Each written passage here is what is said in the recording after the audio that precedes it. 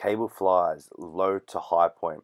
Now, targeting the upper chest throughout this exercise is probably one of the hardest out of all fly combinations, but very important to get that full upper chest.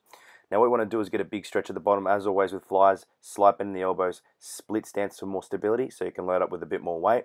Make sure you're getting a full range of motion. Bring it right to the top, squeeze, control, activate, then release nice and slow. Keep the tension on at all times.